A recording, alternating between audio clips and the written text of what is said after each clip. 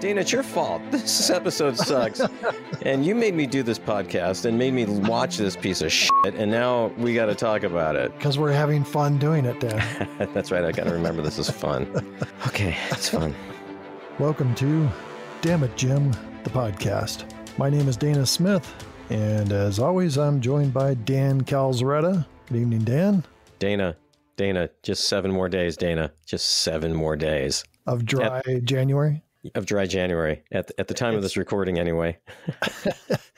It's been very dry for me. It hasn't been as dry for you. You've been drinking alternative type of beverage. You mean the non-alcoholic beer? Is that what you mean? yeah. I mean, it doesn't have any alcohol, so it's dry. I mean, it's dry. It right? all has a little bit of alcohol. I looked it up, Dana. I Googled, is drinking non alcoholic beer cheating with dry January? And the answer was a resounding no. Wow. Okay. I'm sure Google knows best. The Googler. The Googler. Sounds like a Batman enemy, the Googler. Yeah. Quick question for you. What did you call a water fountain growing up? Do you mean the kind you drink out of? Yeah. Um, a drinking fountain. In Wisconsin, they call it a bubbler. Really? Yeah. Huh. Interesting. Yeah. What what brings that up? the Googler made me think of the bubbler. Dana, we need to start drinking. On my train of thought, that was perfectly in line. Yeah. Okay. Well, good. Um, you keep thinking that, and uh, Actually, the dry January thing hasn't been bad. I, I haven't been craving alcohol. You know, uh, it's it's been good. So I'm I'm uh, looking forward to ending it only because I do like beer. Yeah, my wife and I were having uh, steak, and I found I was eating my steak faster. And it's just because usually if we have wine with it, I'll pause, take some of the wine after the steak, kind of savor the flavors. But boy, I was plowing through that steak tonight. I thought you meant because when you're drinking, you're like missing your mouth with the fork. it just takes more effort to actually eat the food. I'm not confirming or denying that. No. yeah, let's move on. I'm ready to move on, really. Good. Well, first of all, thanks for all the comments on last week's episode, Errand of Mercy. Not surprisingly, many people really liked the character of Kor, played by John Colicos, Thought that he was a great Klingon, and many people said it was a shame he wasn't able to come back and uh, reprise that character again during uh, the original series. Many people also comment on Kirk's attempt at uh, guerrilla warfare and his uh, kind of burning desire to fight the Klingons. Thanks again, all the Facebook Facebook fans, and all the different groups on Facebook that allow us to post our uh, information on there. Uh, somebody always has a comment I learned something about. Uh, there's always uh, new information coming around and just some great insight into these shows. And I have some listener comments from YouTube, Dana, that I'd like to share. Julie says about Taste of Armageddon I don't like this episode. Kirk decides what's good and what's not for those people, and therefore he imposes his will. He may be right, but it's not up to him. And she further says, I'm sorry, but my bad English, it's not my language. Julie, your English is perfect. Uh, that's fantastic. Thanks for sending us that comment. We also heard from Shamrock Particle. Do you think that's his real name? That'd be funny if that was his real name. uh, Shamrock Particle says about what are little girls made of. I love how y'all go between facts, tangents, and a quip out of nowhere. He especially liked when we were talking about Kirk being duplicated into an android, and I was wondering if you could see Shatner's quote giblets since he was naked on the duplication machine. So thank you, Shamrock Particle. And Kingmon01 finally says about Taste of Armageddon Kirk should have been court martialed for getting in those people's business. Prime directive clearly means nothing nothing. And that is something we have talked about a lot, Dana. And in fact, you had an idea for another count, didn't you? Yeah. The crew of the Enterprise, mostly Kirk, completely ignore the uh, Prime Directive all the time. And so uh, I thought it'd be a good thing that we should keep track of. But what we would have to do is at least go through our notes from all the episodes and yeah. we'd be able to, I think, recreate a count. What do you think? We'll add that for next week? Yeah, definitely. On to uh, this week's episode the alternative factor. Okay, we start off with the Enterprise orbiting around an uncharted planet. The Enterprise prepares to complete its survey when the starship is violently rocked, not just once, but twice. Everything within sensor range suddenly blinks, almost as if the universe itself is on the verge of ceasing to exist. Now, I I'm going to jump in here for a second. When the ship is rocked, you know, oftentimes in these or in the original series, people are like flying one way and then they'll all fly the other direction, right? You know, as the ship Mhm. gets tossed about. Shatner was like at the peak of Shatner as Kirk while he was in his chair. I don't know if you noticed, but his arms were up in the air and they were flying one way and then they were flying the other way. And it was just like, I was watching that and thinking, this is why people make fun of William Shatner's acting because of a scene like this. Yeah, I, I did notice that. But and when this whole thing happens, there's like an overlay of like a nebula or something, stars we see. Uh, it's just real kind of fast and faint, but makes you realize something weird's going on. And so Kirk asks Spock what had happened, and Spock says it's as if the universe blinked. And Kirk's reply is, I want facts, not poetry. I have given you the facts, Captain. What you're describing. Is non existence. they'd already done a scan of the planet, hmm and now all of a sudden the scan says there's a life form on the planet. You know, before that, though, Spock mentions that the atmosphere is oxygen and hydrogen. Okay. Any first year chemistry student, Dana, knows that that's bad. Hydrogen, yeah, is highly flammable. I mean, the Hindenburg, hello, and then oxygen to feed that fire. One spark, one, I don't know, Spock is pulling down a zipper to take a leak on the planet. Something is just going to light that whole sucker on fire. That's just not going to be good. So No. I think it's bad. Bad writing. So, but they had already done a, a, a scan of the planet that said there was no life on the planet, and Right. now there's a there's a man there. Kirk is he's kind of testy with Spock. He's like, "You just told me a minute ago there was no life form on this planet." So they decide to beam down to the planet. Kirk and Spock and a security team of four. Now, Dana, when those four red shirts went down, I was really pretty Oh, excited. I was like, yeah, okay, we're going to get at least one. Oh yeah, I was sure that our count was going to go up pretty quick. Yeah, me too. So they they all beam down to the planet, and Kirk spots a ship. It's on the ground, some twenty yards away from them. Whatever. The bubble top is open. Kind of looks like a flying saucer of sorts. To me, it looked like the ship out of the Jetsons. yeah, you think you're right. I think of George Jetson, who I was probably expecting to come out of that. Suddenly, a man appears and he exclaims, "You came!" He says, "There's still time to stop him." Then the man like looks weary and he collapses. Kirk and the crew rush to him and he is unconscious. The next thing we see is we're back on the Enterprise, and Kirk is informed by Lieutenant Masters that the strange phenomenon has drained the dilithium crystals. And Kirk responds, Yes, if we don't recharge the crystals, we'll fall out of orbit in 10 hours. My question is, though, where is Scotty? I, I was going to get to that. Oh, sorry. Because, I'm uh, going to no, rewind. No, that's okay. Because I mean, I, I I had the same thought, and I thought, well, you know, she's a science officer, and so maybe she's just doing the reporting. But we'll see. She is basically Scotty in this episode. Yeah, that's true. Yeah. So, Dana, let, let me go back to this guy that they find on the planet. He looks a lot like Jesus, as Jesus was portrayed like in movies, right? In old movies and even in paintings. And he talks in these very biblical terms, almost like fundamentalist terms about the end of time is coming and everything, everyone will be destroyed. And I'm fighting, uh, it's a fight against good and evil. I mean, but when they're talking to him while he's on the ground, to me, it, it rang of this very weird uh, fundamentalist religious stuff. Wow, I need to go back to church. I didn't get any of that. the Enterprise receives a message from Starfleet Command. It's Code Factor 1 Invasion Status. Now, this is the first time we've heard of invasion status. Yeah. So we did hear, you know, a message from Starfleet in the last episode where they say code one and Kirk says that means war, but code factor one. I'm wondering if we will ever hear it again. My guess off the top of my head is no. Yeah. They were making this stuff up as they went along. Kirk puts the ship on battle stations, and then a message comes through on the main screen from Starfleet Command. It's Commodore Barstow. Barstow comments that the effect, which seemed to emanate from their area, was experienced everywhere in the galaxy. And the Commodore wonders whether they are naturally occurring or if it is an invasion force. They described it as a winking or blinking. Do you remember how they, what word they used? Well, Spock used both blink and wink. And then I think the Commodore said wink. So this is felt everywhere, right? Throughout the entire Yeah. universe. And so I wonder if Uranus was winking. You got to set me up for these jokes better. I just, I, I'll wait. I'll wait, Dana.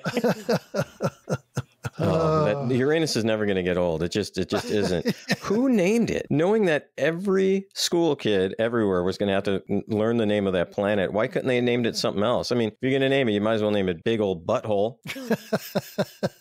It's not that big though. Oh, Uranus is a gas giant, Dana. It's it's a gas giant with a solid core. Oh shit! How am I going to edit this? Good question. That's your problem. uh, so the Commodore says they're evacuating all the personnel and starships in the area and leaving the Enterprise out as bait. Kirk goes to visit the man they found on the planet, and the man is very upset and he explains that his civilization was wiped out by one man. He refers to him as a thing. He says that thing is pure evil. Kirk says that they will go back to the planet and search for him. The next thing we see is they are back on the planet. Kirk and Spock and this other man. Uh, they find no other beings and no sign of any other life. And Spock says to Kirk, "You've been lied to." So this man, who uh, I believe Kirk referenced as Lazarus, asks, "Why do you take this man's word?" Pointing at Spock, and Spock replies, I fail to comprehend your indignation, sir. I've simply made the logical deduction that you are a liar. That seem a little harsh for Spock? a little bit, I mean- but it was a great line. Yeah. Spock just doesn't seem like that type of person. Yeah, Dana, I don't know when is the appropriate time to to start on this episode, but I hated this fuck episode from the beginning to the end, Dana. I hated it, hated it, hated it. It was stupid in every regard. I think we can just turn the podcast off right now. Don't watch this episode, listeners. It sucks. Wow. Yeah. Um, I've got more to say, Dana. I got more to say about it. well, let's continue on, and uh, we'll we'll dig in further into your hate. Yeah, okay, but uh, this thing about Lazarus, once again, another biblical reference, right? The Yeah. one that Jesus brought back to life from the dead. I wish they wouldn't have brought this show back from the dead. This show sucks. It's horrible, Dana. it is actually the spawn of Satan. It's bad. It's very bad. But again, I think this has, there's definitely some biblical terminology, some biblical references in this show. And it's biblically bad. I mean, bad in a biblical sense. Oh, it was uh, Jesus who raised Lazarus. Yeah. Yeah, I, I was an altar boy. Did I ever tell you that? I was an altar boy. So suddenly the man is rocked, and we see this strange overlap of space and stars over him, just like we briefly did at the beginning of the show. He's yelling, he's like, Come at me again, we'll finish it. And uh, and then Lazarus runs off and Kirk pursues him. Lazarus is beaten down by this force all of a sudden. And and then we get this crazy negative look, and we see Lazarus battling like another person in this kind of negative world. And uh, and then the whole thing spins and Kirk is rocked, and then we see Lazarus is back to normal. Dana, have I said how much I hate this episode? This is just it it encaps what you just said makes no sense because this episode makes no sense. The whole spinning and the negative look and the positive and the purples and the the weird noises and it was just stupid. I thought I was having like some kind of withdrawal from not drinking alcohol. I mean, I'm starting to think you are. You're a little testy tonight. I am. I do not like this episode. Oh god. Uh, and yet we've got a long ways to go to get Yeah, well, we're gonna we're gonna we're, we're gonna get there. Yeah, but I'm gonna say a few things. Here, I was thinking it was going to be a boring uh, conversation tonight. I guess I was wrong. So. so Spock comes up and says the event just happened again from the very spot that we were at, and I was thinking, no kidding. I mean, Yeah. it's, it, it's and right away I'm like, it's Lazarus. He's the problem. They well, actually, the at problem was the writer of this episode, Dana. and no one on the set thought to say, um, "This is not good. This episode is really, really horrible." and you know they almost canceled this episode. Well, why didn't they? They should have. We'll get to that. In All right, okay. I got more to say, but I'll hold. We'll get to I'll that hold in. Uranus. Yeah. So. I'm going to hold off, Dana. I'm going to be good. Okay. Yeah. Well, you've been doing such a great job of holding off so far. Can you imagine if I was drinking though? I got something to say about this motherfucker. Here's our Deep breath, deep breath, Dan. Deep breath, deep breath, deep breath. So uh, they look down. Lazarus's forehead is bloody. He yells, I told you it was a thing, a terrible emptiness. Let's get back to the ship. He'll kill us all if we don't kill him first. Kill! Kill! Kill! Pretty great dialogue. Yep. I don't know why you don't like this episode. I like the actor. I thought he was quite good. Everything that came out of his mouth, the storyline, if there was one. So here's the deal, Dana. I think 1967. These guys are smoking some mad reefer in Hollywood, and they come up with this episode. How else can you explain it? Yeah, I can't. exactly. Actually, that gives reefer a bad name. To say that it's marijuana's fault that this episode was so bad. You know, that's how the came up with the movie Head. Was they were sitting around smoking pot with uh, Jack Nicholson. Came up with the idea of turning their TV show into psychedelic trip. Wait, I didn't even know about this. You've never seen the movie Head by the Monkees? N- not by the monkeys. I've probably seen a movie with had head in it, but and I hope there wasn't monkeys in it. Um, oh my god. Okay, how do we? Yeah, I um I do not. No, I don't remember of any. go go find it. Was this their kind of answer to the movie Help by the Beatles? No, no, not even close. No. Okay. It's just like a drug trip. It's, it's like a way to kill their TV show, and they completely did it. Did they want to not be on the television show anymore? Is that what? Yeah, you know, I mean, if you watch this TV show, it's so aimed at kids, and they were tired of doing the schmuckies type of stuff, you know, goofball stuff. So they took it and it turned it all on its head. Yeah, the show starts off with them, all the Monkees being dandruff in Victor Mature's head. No, that's just bizarre. See, I'd rather watch that than watch this episode of Star Trek. Seriously, when it, when you we're done with the show tonight, go look up head, look up Monkees head. Well, that even could movie. Okay, that might even get me some bad results, Dana. Monkey Head movie. get like 8,000 results, uh, you know, that say use incognito mode only. And then Yeah, let, let's just get this before we move on because we got to move on. The Google term should be Monkey's Head movie. Is that what you're saying? yeah, but it's Monkees. M O N K E E S. Oh, God, that could have been disastrous. Okay. All right. I'll report back next week. It's it's a bizarre movie. Wow, where were we? I, I don't know. Somebody was on the planet getting hit from a monkey. I'm not really sure.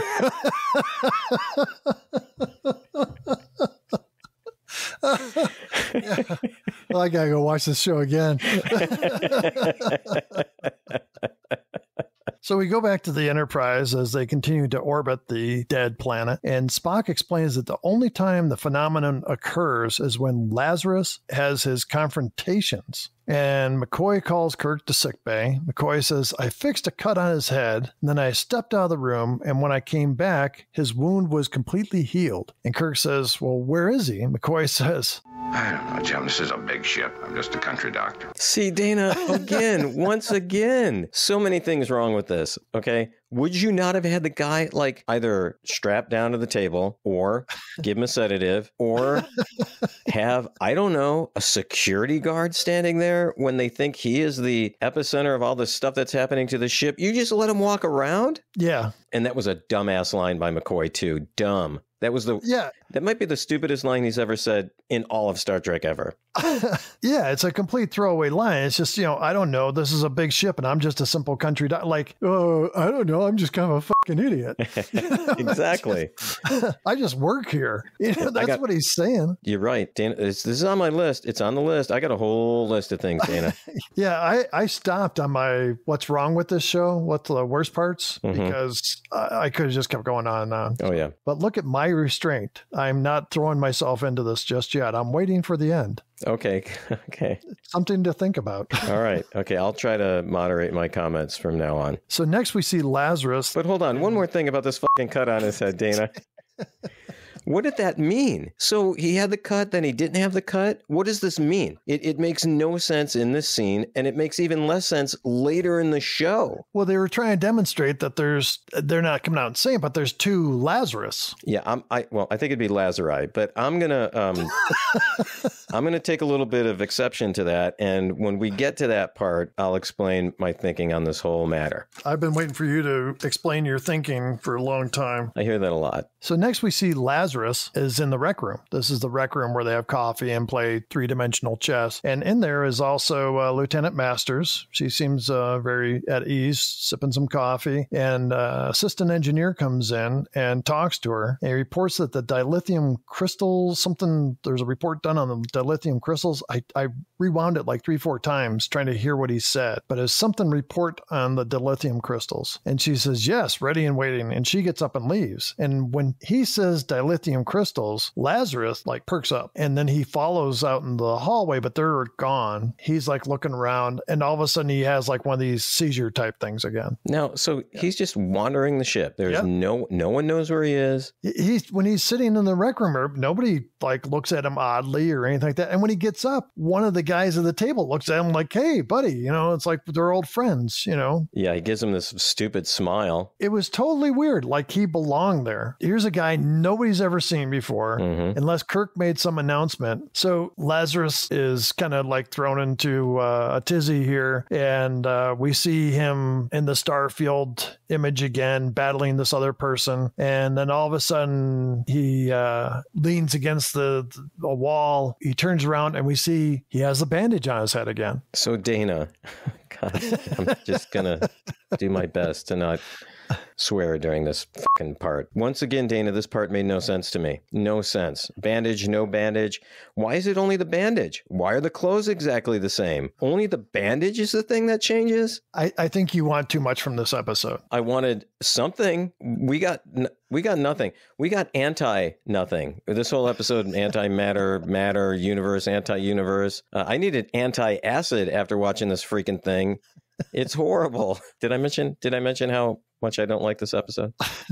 Yeah, and we're closing in on an hour, and Okay. we're about a quarter of the way through this. Yeah. Okay. I, I'm gonna stop. So uh, Kirk and McCoy come out of the turbo lift, and they see Lazarus looking kind of dazed. McCoy sees the bandage, and he pulls it off, and we see the scar underneath. And Kirk thinks McCoy is just joking around with him. And then uh, Spock calls to the captain, says, "Come to the bridge." Kirk takes Lazarus with him, and says to McCoy, "If I had time, I'd laugh." So on the bridge, uh, Spock shows the main screen, and uh, there's something glowing on the planet's surface. Spock says, We have located the source of radiation. Kirk asks, How is it the scanners didn't pick it up before? And this is like the third or fourth thing in the show already where the scanners are just worthless. Spock says, Because it's not there. And Spock says, He is at a loss for words. It can only be described as a rip in the universe. Spock says with the help of the dilithium crystals, he was able to localize it. And Lazarus gets all excited and says, Yes, yes, that's it, the dilithium crystals. Their power, that can do it. He starts begging and pleading and demands that he gets dilithium crystals. And Kirk says, No. Kirk grabs Lazarus and says, I'm tired of your lies. Now tell me what why you need them. And Lazarus says he must have them in order to destroy his enemy. And he adds, I will have them, or your ship and your universe will be destroyed. And Kirk says, Don't threaten me. And Lazarus responds, No threat intended. He says, I will have my vengeance. Yeah, that's not a threat. Yeah, that's no, no threat there. and then Yeah. he gets on the turbo lift alone and just leaves the bridge. Like, w- why didn't Kirk have him arrested immediately? He just threatened everybody and destroyed the whole freaking universe. Yeah, not just the ship, not just Kirk, not just the ship, the whole universe, Yeah. Dana. You are so right. Yeah. And he continues down the hallway and he sees engineering. In engineering, we see Lieutenant Masters is checking the systems. She gets called away, and then Lazarus jumps in and knocks out the assistant engineer. Masters around the corner, another room, and she's talking to Kirk. I don't know why there's not an intercom in the other room. See, just add it to the list, Dana. Kirk says uh, he wants an experiment and all dilithium crystals at full power. And she says, I'll check. She goes back in the room and Lazarus attacks her. And uh, I'm gonna hold on. Gonna interrupt you again. Sorry, but this is just gonna be how this episode is tonight. Um, she's talking to Kirk on the intercom. He comes in the room. She's looking right in that direction. She would totally see him coming at her, and he walks right up. She doesn't hear him. She doesn't see him. Are you kidding me? she's really focused on her work. Yeah, I, I know she is. I mean, actually, she was a good character. I would have liked to seen more of that character in the in the um, series. However, again, totally ridiculous. Not not even close to being believable. Dana. I can see why Scotty and Sulu aren't in this episode. They've read the script and went, yeah, NFW, I'm not doing this. Yeah, I'm on vacation. but as she's being knocked out, she's but she's like, Captain, Captain, and she passes out. Right. And and then back and we go back to the bridge, and Uhura says at that very instant that Lazarus is missing. Hello, yeah, he's missing because you let him off the freaking bridge. That's why he's missing. Yeah, who was supposed to be watching him? Nobody got assigned to him. Yeah, why didn't they assign someone to him? Like a security person. Trying to remain calm, Dana. I really am. But it's going to be evil Dan and, and good Dan fighting it out in the in this podcast about which one's coming out because yeah, he's missing. Yeah, you're right. He's missing. so the next thing we see is uh, they're in the conference room. It's Kirk and Spock, and Kirk is questioning Lazarus. Continuity here. Lazarus' beard is like barely there. I, I mean, I, at first when they they did kind of a close up on him, I didn't think he had a beard. I had to kind of like really strain to see the Oh, that's interesting. See, of all the other things I saw wrong with this one, I didn't even see that one. But we'll put that one on the list too. I'm I'm adding it yeah. right now. Well, maybe even the makeup person saw the script and they were like, yeah, um, they saw like the first day of filming and they're like, hey, yeah, I'm sick. I'm calling in sick. yeah. He can do his own makeup. Yeah. Yeah, so yeah. Lazarus has a bandage on his head now, and he says it was that thing that stole the dilithium crystals. So Kirk says they will beam down to the planet to check for the dilithium crystals. Next thing we see is on the planet, Lazarus' beard is like super full. like uh, the fullest it's been. I mean, the stuff on his chin is just like a, a broom now, but they can find no trace of the dilithium crystals. So once again, Lazarus is rocked and the whole planet is disrupted. Uh, we see the world spinning, and Lazarus is at war with himself again in negative form. Kirk and the security team go looking for Lazarus, and uh, Lazarus tries to climb down from a rock face. Kirk is below him on the ground 20, 30 feet below him. A rock falls, and he, he yells out to warn Kirk right after he does that, the rock misses Kirk, but he falls 20, 30 feet. Yeah. He fell. So I was expecting him to be dead. I was hoping, I was really hoping at this point he would have been dead. And I thought that would have fixed the problem with the show. Yeah. Well, yeah. So, but not to be. So they get Lazarus back to the Enterprise. He's just waking up in the medical bay. McCoy is there, as is Kirk and a security guard. And Kirk thanks Lazarus for saving his life. Then he says he has to ask some questions. And McCoy protests, but Kirk insists, and he says, Sometimes pain can drive a man harder than pleasure. Maybe that's a direct line from Kirk's Dominatrix. I don't know. But uh, Lazarus says, My spaceship is a time chamber, a time ship, and I'm a time traveler. You think he could like pound that one home a little bit harder? You exactly. Know? Yeah. A, a, time ship, a time chamber. I'm a time traveler traveling through time because I've got no time. I was thinking at that point, I wish I was a time traveler traveling like way past this episode. Lazarus passes out and Kirk and McCoy leave. And then shortly after, Lazarus rises up, as he's known to do. and, he, and he goes through another fit. And then back in the conference room, Kirk and Spock are reviewing the details. And this is actually a fairly long scene because I had to rewind some sometimes, uh, and I was surprised by how long this scene is. Yeah, Dana, it was long. I mean, when you have to explain something for five minutes in 12 different ways, mm-hmm. that's not good writing. And Kirk and Spock conclude that the strange energy must come from a source outside the universe, a source in another parallel universe. Spock says it's almost as if there are two men. What they say is that they are periodically exchanging places through a kind of door or a hole in the universe. Spock says Lazarus must be stopped like two particles of matter and antimatter meet. They would cancel each other out. Everything everywhere will be annihilated in a cataclysmic matter antimatter explosion. Yeah, at that point, I was wishing for that. I really was. Lazarus goes into engineering and grabs dilithium crystal. He kind of sneaks in, right? They don't see him going in. Yeah. So he goes to the transporter room, and the transporter operator says, Sir, you're not supposed to be in here. So he basically knees the guy in the nuts. That's exactly what I thought too, right in the nuts. and the guy doubles over and then he hits him in the back. Yeah. And then he quickly programs the transporter and he beams himself down to the planet. So then we go back and we see Kirk and he's figured out what has happened. So he goes after Lazarus. And next thing we see is Lazarus is in his ship. Kirk leans in to get Lazarus and he's transported into the negative universe. He sees Lazarus' ship and he goes towards it. And then he sees Lazarus without the bandage on his head. And Kirk learns he is in the parallel universe with the good Lazarus. Good Lazarus explains that if the door is open to the universe, the universe explodes. And if the corridor stays closed, it protects both universes. So they come up with this plan. If Kirk can force the bad Lazarus into the corridor, good Lazarus can hold him there, and Kirk can destroy his spaceship, which will also destroy the good Lazarus's spaceship. So basically, what happens is the access to the corridor will be sealed forever, and both universes will be safe but the men named Lazarus will be at each other's throats for the remainder of eternity. Kirk goes back to his own universe, and we see that Spock is close to Lazarus, and there's two security guards on the other side of Lazarus. Kirk kind of motions for Spock to distract Lazarus. Kirk comes down and he attacks the bad Lazarus, trying to wrestle him and throw him into his machine. It's kind of funny because Kirk's wrestling with this guy and he looks back at the guards and says, Stay back. And the guards weren't even moving. they were just like, they were getting ready to get some popcorn and watch the show. I mean, they Yeah, they, you're like, yeah, this is good. What's happening here is good. Finally, there's something good happening in this episode.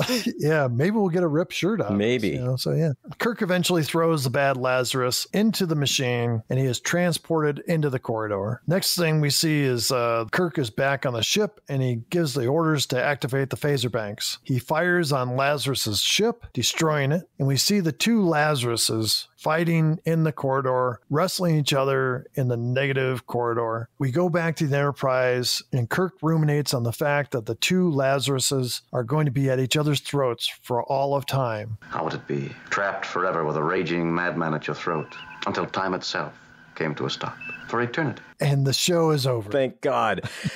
you know, he Kirk does say to be inside of that, you know, corridor for an eternity. It felt like an eternity watching this episode. Thank God it's over. Thank God. Can we just go home now? I need a drink. you know, we should get some kind of like dispensation, you know, from whoever the higher ups be of this whole dry January thing and say, here are some exceptions. Not only is it okay if you drink, it's required that you drink. If you watch this episode of Star Trek, you must drink because otherwise you will remember what you watched and you'll wonder why. What's the purpose of life? What's the point, Dana?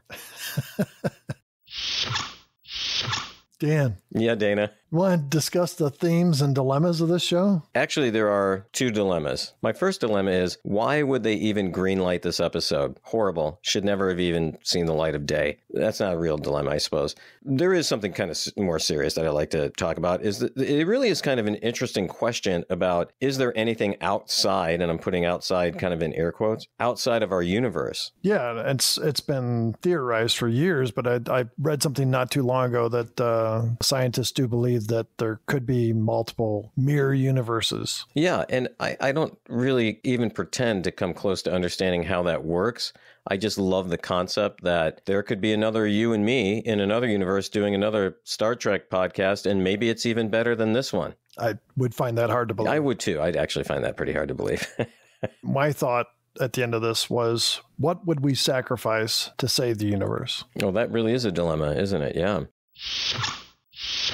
So, Dan, search inside your head Mhm. and your soul. Yeah.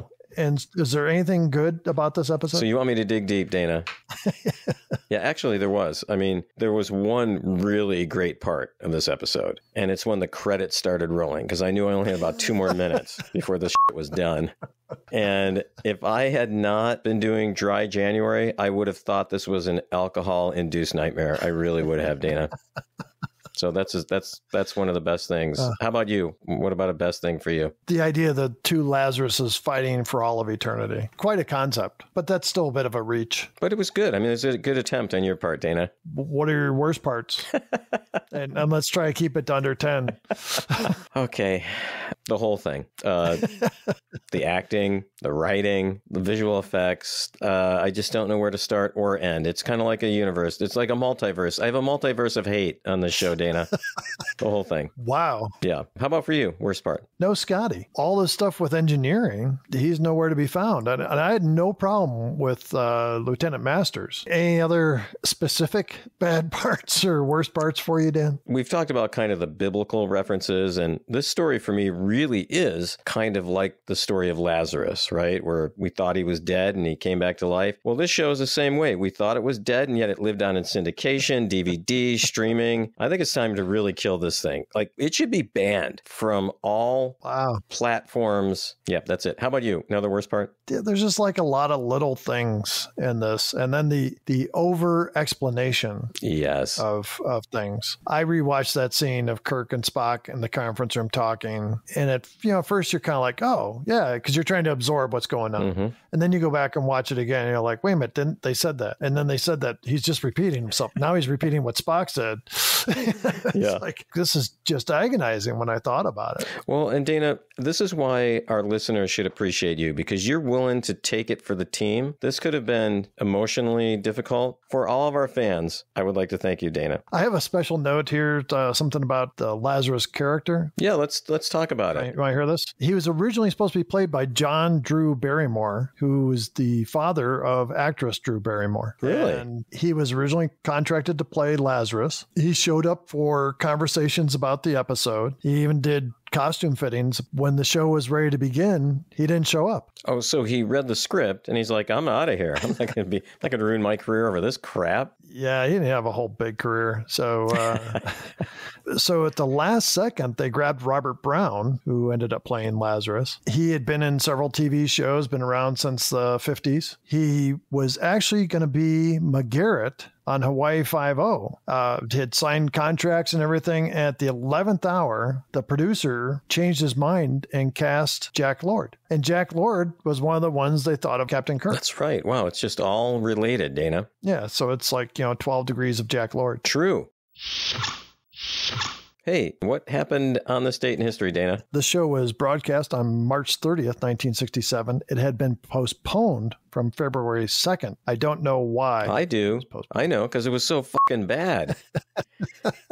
So on that date, though, SEACOM, the Southeast Asia Commonwealth telephone cable, inaugurated service at 3 p.m. local time in a ceremony at the Wentworth Hotel in Sydney, making it possible for direct calls from Australia and its neighbors in the Pacific, which in turn allowed calls to the rest of the world. The 7,070 nautical mile undersea cable connected from Sydney to Kuala Lumpur. Also on this date, a Delta Airlines DC 8 crashed in the Hilton Inn in three neighboring houses in New Orleans. After taking off from an airport to begin a training flight, a flight was making a practice landing when it stalled and then plummeted into the residential neighborhood, killing 13 people on the ground and all six of the crew on the plane. Also on this date, the Beatles posed with photographic collage and wax figures from Madame Tussauds famous museum for the cover artwork of Sgt. Pepper's Lonely Hearts Club Band.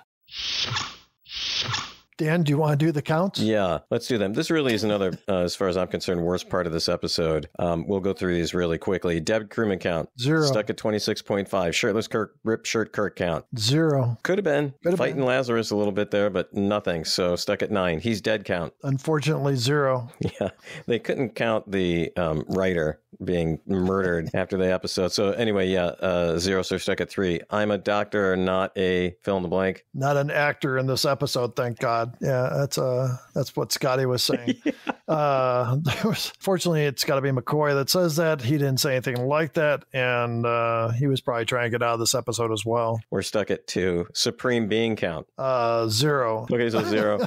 so we're stuck at five. Next week, we are going to add which count again, Dana? The prime directive count. How many times does uh Kirk and the crew completely ignore the prime directive?